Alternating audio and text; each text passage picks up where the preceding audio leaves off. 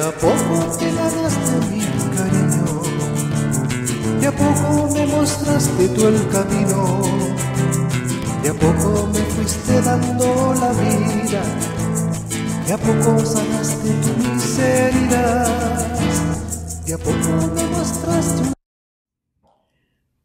Estamos al lado del Señor, abrazados al Señor. ¿Por qué? Porque estamos viviendo en la verdad, pues. ¿Ah?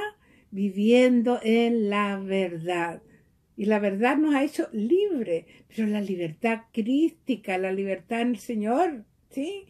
Eso, muy bien. Y cuando no estamos con la verdad, ¿ah? ¿con qué estamos? Con la mentira. Y ya por ahí me han dicho que repita que el padre de la mentira es Satanás y que repita también de que no hay mentira chica, blanda, rosada, piadosa, nada. Es mentira, hermana. Es mentira. Y la gente, por ahí, el mismo Satanás, no, si chiquitita la mentira, si total ni se va a notar, sobre todo, no, no es piadosa, ¿cómo le vas a decir la verdad a esa persona? Así que, ojo, ¿ah?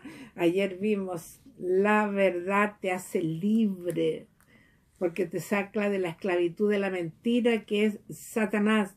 Y vamos a ver este Juan hoy día, este Juan que es puro amor, que es puro amor, quien nos dice en Primera de Juan 8 y 9. Y nos dice lo siguiente. Si decimos que no tenemos pecado, nos engañamos a nosotros mismos y la verdad no habita en nosotros. Si reconocemos nuestros pecados, Dios, que es justo y fiel, perdonará nuestros pecados y nos purificará de toda maldad. Palabra del Señor, palabra del amor de Dios. Aquí tanto, tanto que nos cuesta. Si decimos que no tenemos pecado, no, yo no, yo no peco, no, yo no he matado a nadie, yo no he robado nunca, yo no peco. La soberbia, el orgullo que está por ahí, los pelambres. yo no peco. Dice, los santos pecaban siete veces al día como mínimo, los santos y nosotros nos atrevemos a decir que no tenemos pecado. Yo digo, que digamos que tengamos ocho, ya somos santos. Si reconocemos nuestros pecados, hay una diferencia, hermano. No, sí, yo, yo sé que soy así, yo sé que soy rabioso, yo sé que me enojo por cualquier cosa, yo sé que ando mintiendo, yo, total, yo lo sé.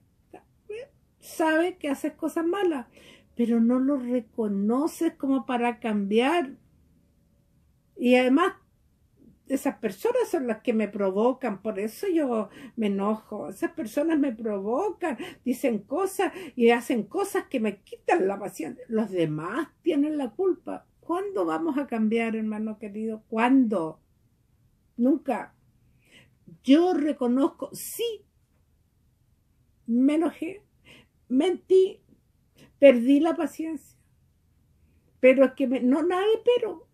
¿Lo hiciste o no lo hiciste? Sí, ya. Y con eso solo puedes cambiar, si no, no. Porque si no, la culpa la tiene el otro y por lo tanto yo voy a seguir haciéndolo. Entonces, Señor, aquí estoy. Y cortito me viene en la memoria un sacerdote en un retiro nos explicaba ya que cuando tenían que confesarse todos, ya en un momento dado salió del confesionario y dijo, ya Juan, María, Cecilia, no sé, pueden irse, porque ya se han confesado. ¿Por qué? Porque las personas que habían ido se confesaban de que ellos tenían problemas, que por culpa de ellos ellos pecaban, ellos no eran santos. No, hermanitos queridos, yo soy la que peco, yo soy el que hago las cosas y así el Señor puede darme la luz, puede darme el camino y la fuerza para poder cambiar. Así que digámosle hoy día, Señor, ayúdame a reconocer mis pecados. Señor, ayúdame a reconocer mis errores para que con tu ayuda yo pueda cambiar.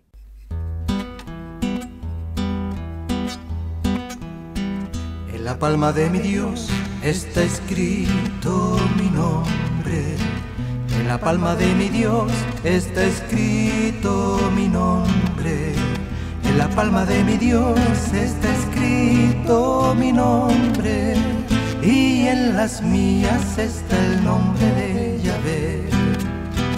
En la palma de mi Dios está escrito mi nombre. En la palma de mi Dios está escrito mi nombre. En la palma de mi Dios está escrito mi nombre. Y en las mías está el nombre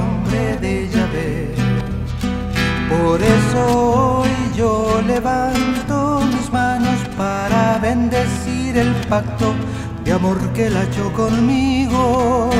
Por eso hoy yo levanto mis manos para bendecir su nombre y para que él me bendiga. En la palma de mi Dios está escrito mi nombre. En la palma de mi Dios está escrito mi nombre. En la palma de mi Dios está escrito mi nombre. Y en las mías está el nombre de Yahvé. En la palma de mi Dios está escrito mi nombre.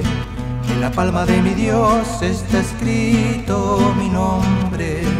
En la palma de mi Dios está escrito mi nombre y en las mías está el nombre de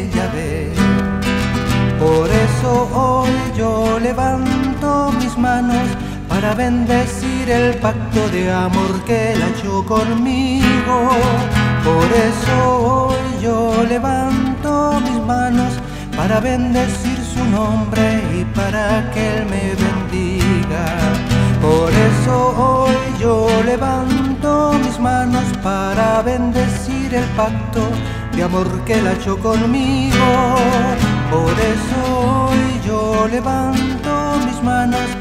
Para bendecir su nombre y para que me bendiga.